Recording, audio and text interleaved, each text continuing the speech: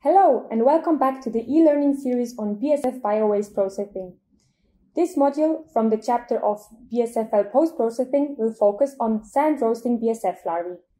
After watching this module, you will be able to describe the product quality of sand roasted BSF larvae.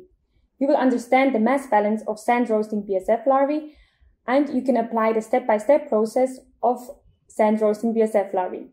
You will recognize the process control parameters and you will apply procedures for data collection.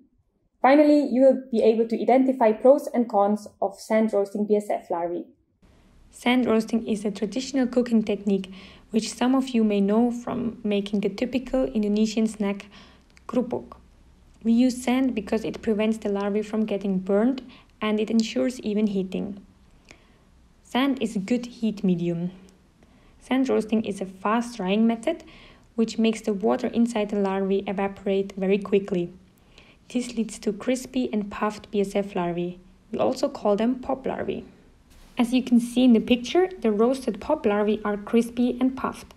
The color ranges from bright yellow to dark brown. The brown color comes from the roasting process, which is less gentle compared to microwave drying and therefore leads to more color changes. Dried larvae have a similar nutritional quality compared to also microwave dried larvae. They mainly consist of protein and fat. Each can account for around 30 to 40 percent. In smaller amounts, they also contain fibers, ash, and carbohydrates. Dried larvae have a low moisture content of around 30% and a water activity of 0.4. Therefore, dried larvae become storable and have a shelf life of around 5 to 6 months if stored in a moisture tight package. The water activity below 0.4 prevents any bacteria or molds from growing. Here you can see again the mass balance as we already introduced it in the introduction video. Now you see the detailed mass balance for BSF roasting using a small scale setup of a simple wok pan and sand. So for sand roasting, you add sand to the process in a ratio of 1 to 1 compared to sanitized larvae. The pan is heated usually by gas. We use LPG gas Steam will leave the system as water from the larvae is evaporating. So for this setup shown in this video, the drying time takes approximately 20 minutes and the ideal, ideal batch size is 1 kg. The larvae will reach a maximum temperature of around 180 degrees Celsius. For this operation, you need a wide pan. Here we use an aluminium wok pan with a diameter of 30 centimeters. Then you need a stand to place your pan on. And under the pan you place a stove which is connected via a gas connecting pipe to a gas gallon. For stirring you need a big spatula. Then for removing the larvae from the pan and the sand, in the end of the operation you need a mesh spatula. You also need a bulk balance to weigh the larvae and the sand. Finally, you need heating gloves, a lighter and a storage container. Add 1 kg of sand to the wok pan. We recommend to change the sand after 5 cycles of drying, because burnt and dark sand can also make the dried larvae more dark and could also burn the larvae. Then turn on the gas stove and preheat the sand for 15 minutes when this is your first cycle. Then add 1 kg of sanitized BSF larvae to the sand. Roast the larvae for 15 to 20 minutes while you continuously stir.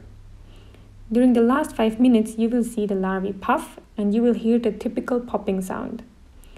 You will notice the end of the process when the popping sound is less frequent. Stop the process when the two indicators are true. Indicator 1 is that the larvae need to have a puffed shape. And then indicator 2 is that the larvae need to have a crispy and dry texture. When you crush the larvae with your fingers, it breaks easily apart into fine crumbles. If these indicators are not true and your larvae are still moist or damp, continue stirring and roasting. Remove the larvae from the pan using a mesh spatula. Then weigh the dried larvae and note down the weight in the log sheet. Then let the pop larvae cool down and store them in a closed and big container. In the end of the day, label the container with the production date. We recommend you to pack your pop larvae into small packages when they completely cool down. To keep track of the activity, fill in a log sheet. First, always fill in the date code of the harvested larvae as well as the larval weight. Always note down the weight of each batch of the larvae going in the pan and of each batch coming out of the pan. Also note down the total drying time. In the end of the activity, sum up the total mass in and out. These two numbers are then needed to calculate the yield, which is a process control parameter. In your Excel sheet, you can then calculate the yield, which is the total mass out divided by the total mass in times 100. The yield should be 25 to 35%. If you get higher yields, this indicates that the larvae are not completely dry yet. If you get lower yields, this may indicate that you lost some material. Now, as usual, we would like to give you some pros and cons of this method. Benefits of this operation are the very low investment costs. Then you don't need any electricity connection, which makes this method suitable for also very rural areas. Then also the product quality is good and the end product is marketable as the famous pop larvae. Downsides of these operations are the small batch sizes. The operation is very labor intensive, especially also because you need sand for the operation.